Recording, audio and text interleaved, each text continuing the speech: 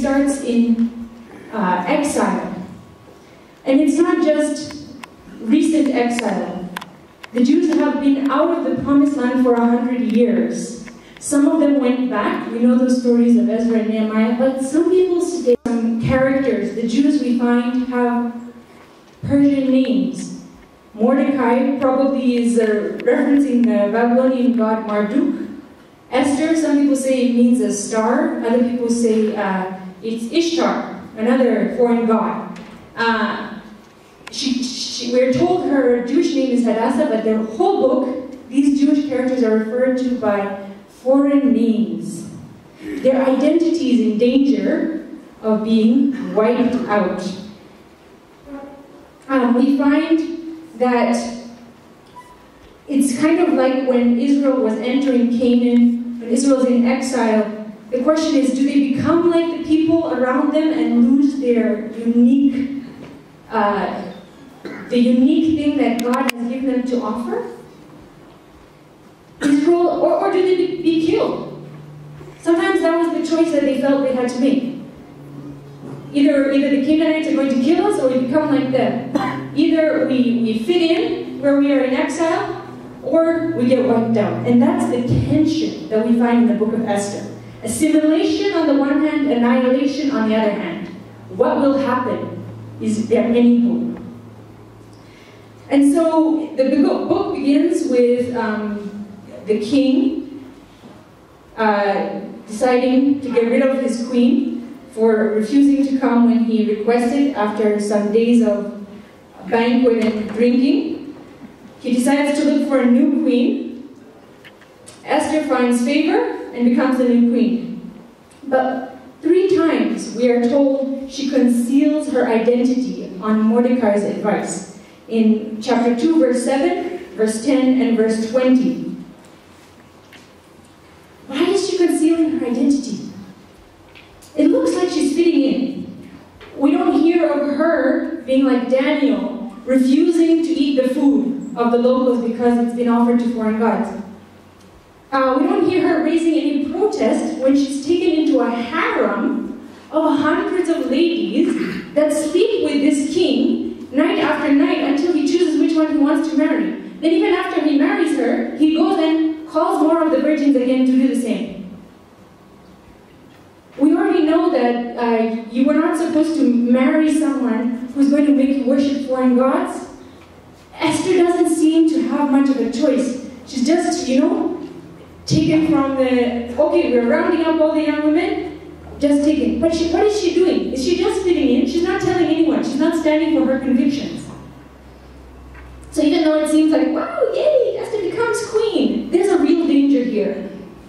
There's a danger of the Jews in, she's representing the Jews in exile losing their identity and falling away from, uh, from God. She's a very morally ambiguous character in some ways. We're not sure if we should be like her or not. How should we react in such situations? Then we get a new, uh, a new threat. Haman is promoted, and we, we if you know the story, Haman is the ultimate bad guy. Uh, not only that, it says Haman the Agagite. And Agag was probably referring to um, this king of the Amalekites.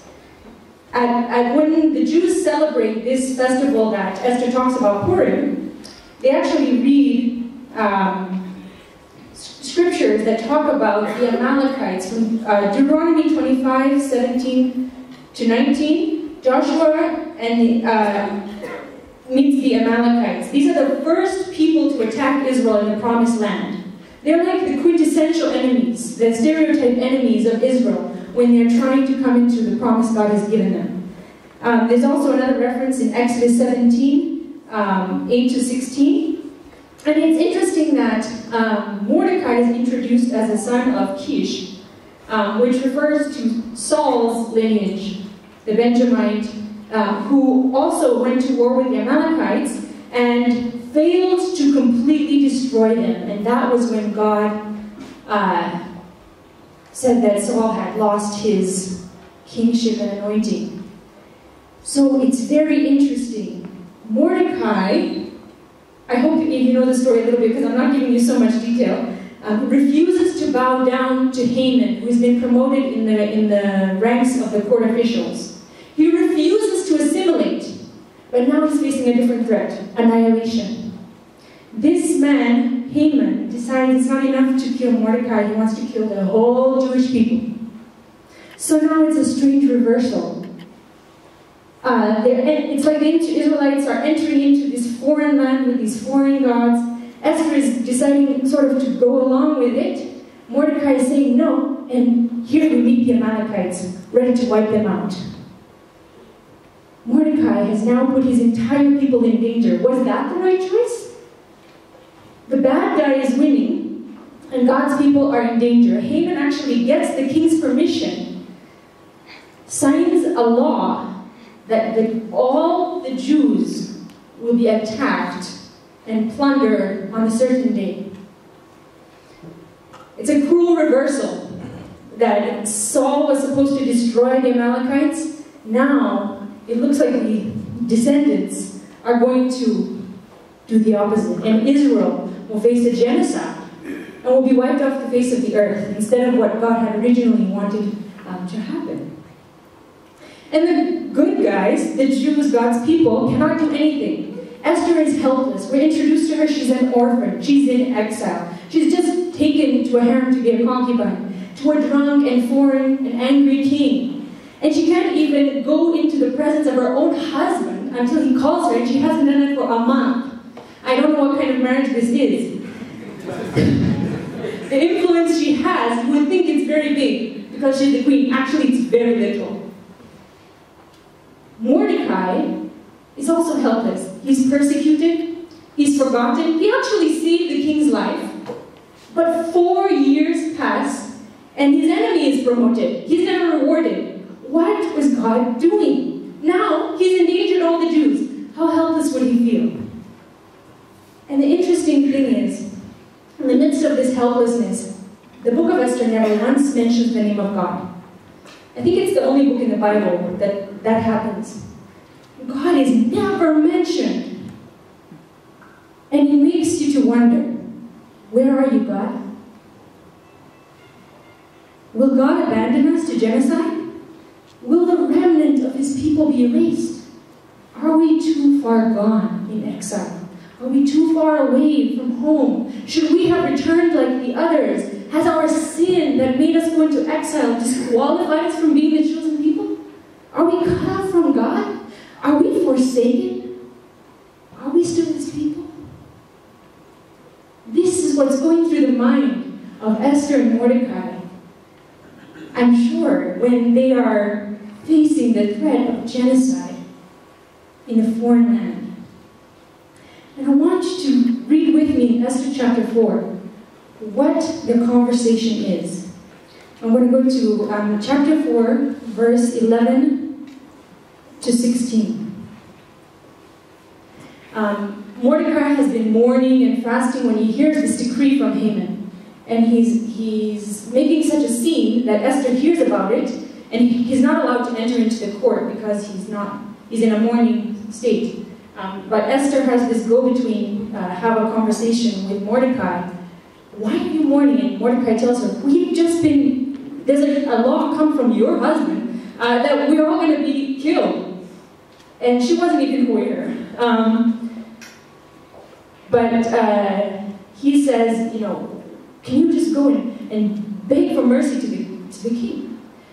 And she says, all the king's officials and the people of the royal provinces know that for any man or woman who approaches the king in the inner court without being summoned, the king has but one law, that they be put to death unless the king extends the gold scepter to them and spares their lives.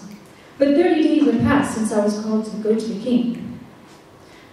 So she's like, okay, so either I die or I die. I mean, how is this going to help you at all? Um, when Esther's words were reported to Mordecai, he sent back this answer Do not think that because you are in the king's house, you alone of all the Jews will escape. For if you remain silent at this time, relief and deliverance for the Jews will arise from another place.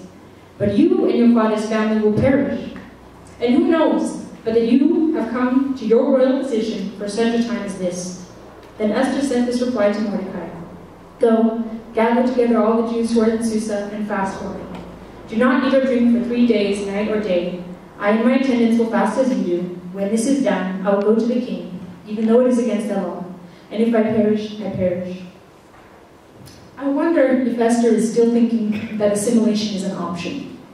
She's almost like, hmm, well, the Jews might die, but I'm in the royal house. Maybe I can, maybe I can survive this. And Mordecai says, don't think that you are going to be saved when your people are annihilated. God, God will see that. But Mordecai, uh, but, but Esther also knows that annihilation could come to her by going to the king. She could be killed. Is that her only choice, assimilation or annihilation again? Mordecai says something very important. Deliverance will come. We're asking, where is God? We're asking, how could he allow us to be in this position? And Mordecai says, deliverance will come. Are you going to participate in it or not? Even though God is not visible in the circumstances, even though they are far from home and they have sinned, Mordecai has faith. And Esther responds. She chooses to serve her people or die trying. She says, If I perish, I perish. She doesn't know what will happen. She could perish. In fact, that's probably the two options she has die one way, die the other way. But she acts in faith. She hopes that God is the real king, even in exile. And even before she goes to the king of Persia to ask for her life, she goes before God. She fasts and prays with her people, hoping that he will lift his scepter and let them live in heavenly realms. They have this great conversation, they decide their plan, and the suspense continues in the story. Esther is still alive, she goes to the king, but all she does is invite him to a, a banquet which probably was very strategic because it seems this guy liked to party a lot. Um, but she hasn't said she's a Jew yet, and the Jews are still going to be killed. There's, the reader is like, what's happening? Or, do something. The time is running out. And then Haman, on his way home from the banquet, plans to execute Mordecai. Things haven't gotten better, they've gotten worse. But then we get to the turning point. It just so happens that night the king cannot sleep. It just so happens that he decides to have some bedtime reading of the records of five years ago, which sounds like a good boring read to me. But instead of boring him to sleep, it actually reminds him of someone who saved his life five years ago and was never honored. It just so happens at that moment, Haman is on his way to the king to tell him about his great idea to execute Mordecai. The king asks him, how would I honor somebody? And he doesn't tell him the identity of this person. Just the way even Mordecai never told him the identity of these people he's going to, uh, you know, put an edict against. And Haman thinks, of course it's me he wants to honor. And so Haman says a very nice way to honor him. And the king says, go do that for Mordecai. Haman is like, ah, here I am, I'm about to ask you for permission to kill him, and you're telling me to what? Instead of killing and shaming Mordecai, now Haman has to go publicly honor him. From this moment, everything in the story starts to go in reverse. This is a turning point. In fact, the author has structured this story with what we call a chiasm. So it's a symmetrical story. Um, everything that happens in the beginning gets repeated in some way or changed in a new way at the end. And then everything just before this event happens just after this event. It's a series of reversals. So right after this turning point, Haman's friend Zeresh, who told him to go hang Mordecai, now tells him that since Mordecai is Jewish, nothing can stand against him and Haman is doomed. Then Esther holds another banquet, and this time she reveals her identity. On the way home from the last banquet, Haman had planned to execute Mordecai, but at the end of this banquet, instead, he is the one who is executed. Now Esther and Mordecai plan again, but this time they have the king's approval. At the beginning of the story, Haman made a decree to kill the Jews. Now Mordecai decrees that the Jews can defend themselves. Haman had been elevated to power before, but now Mordecai is elevated to power. Esther and Mordecai saved the king in the beginning, but now the king helps them save the Jewish people. Though the book began with the king holding two feasts to display his splendor, in the end, the Jewish people are the one who celebrate with two feasts of Purim in the day after, and Mordecai's splendor is highlighted. The amazing thing about this structure we see in the book of Esther is that every detail seems to have been important. Every action was reversed. The author portrays God's plan as if it was perfectly designed. At the very center, the very turning point, were a series of it just so happens. The French writer Théophile Gautier said, Chance is perhaps the pseudonym of God when he does not want to send. Although the author never mentions God's name, the way that the, the author structures this story shows that God's providence was at work the whole time. We learn that God is at work even when it looks like it's just natural circumstances, even when we don't see His hand in a miracle, even when He doesn't speak to us with an audible voice. That's why today, when celebrating Purim, that this festival is still celebrated today by Jews, they actually dress up in costumes because they want to remember that God's work and His miracle was disguised as natural circumstances. And this is a lesson we see elsewhere in Scripture. Another example is Joseph, where uh, this is a story that the author actually alludes to or hints at. For example, the author includes details such as Esther finding favor with the eunuch in charge of the harem, the two chamberlains in the beginning of a plot, similar to the, the two chamberlains who Joseph meets in prison, the king's disturbed sleep being a turning point in the story, and I think that the author might be hinting at a larger similarity with the Joseph narrative. Joseph, too, had good reason to think he was abandoned by God in a foreign land. Like Mordecai and Esther saved the king, Joseph did good things for Potiphar and the cupbearer, but he wasn't rewarded either. Instead, he was thrown in prison and then forgotten again. But all these events were God's hand setting up the salvation plan, enabling Joseph to reconcile with his family, save Egypt, and save the nation of Israel from becoming extinct during a famine. God fulfilled what he had promised to Joseph in his dreams, and he never gave up on his chosen people. Time and time again, in Scripture, we see when people ask, Where are you, God? There's something around the corner. The disciples, when they thought the man who was the Messiah had died, and he cried out, God, why have you forsaken me? They didn't know this was the reversal of everything, the moment of victory. My parents uh, came to Tanzania as missionaries when I was two and my little brother was eight months. Uh, the first term, the first year, they were sick 40 times and then they stopped counting. Yes. Uh, I mean, us as a family. And my dad had hepatitis A. Uh, my parents had a lot of culture shock. They had panic attacks. It was very, very hard three years. And the hardest thing was my mom was pregnant with her third child, and um, she got malaria and lost the baby at uh, about four or five months. And she's like, if I wouldn't have been here, I wouldn't have gotten malaria. My child might have been alive. And my parents named that child Esther Hope. And they went back after the three years for, for the visit to the US and raising funds. And my dad said, Do you want to go back? And my mom says, I think God wants us to, but let's not talk about it right now.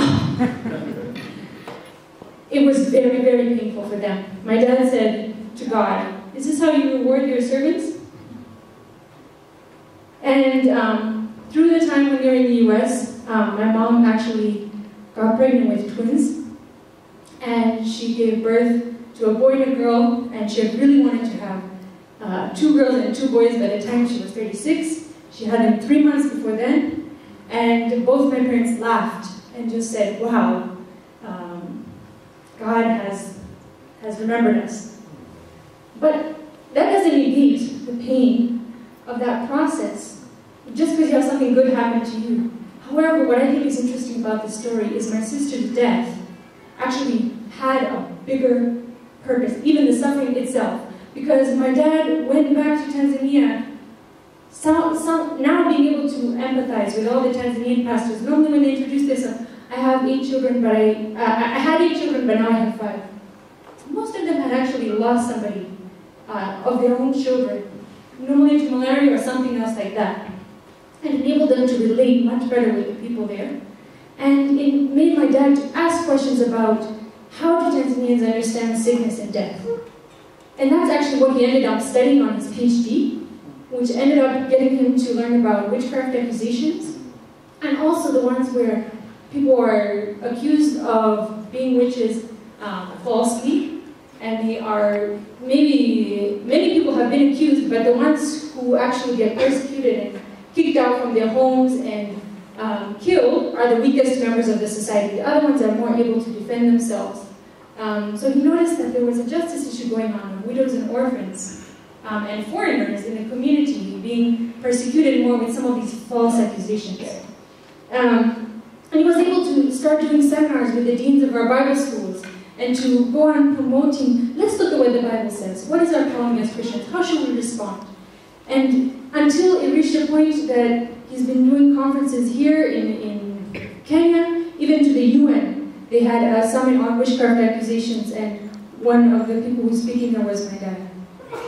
When I think about this, I don't say that my sister's death was a good thing.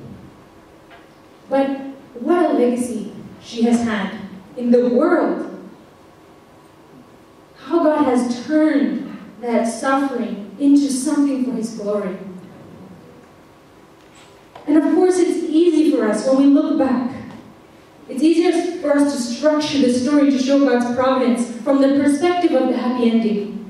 The question is whether our eyes are open to see the possibility of God at work in the middle. Other people in Scripture never saw the reversal. They never knew the full story. Job never knew there was a war going on in heaven. Um, we see the patriarchs and Hebrews straining their eyes to see the promised land and they never got there themselves. That's why, even though we always focus on this part of the story of Esther, I think it is really important Mordecai and Esther, when they make that choice, they have such an honest conversation that we can relate to. And I love what Mordecai says relief and deliverance for the Jews will arise from another place. And who knows but that you have come to your royal position for such a time as this? And Esther says, If I perish, I perish. They don't know what's going to happen. It's so uncertain. Who knows?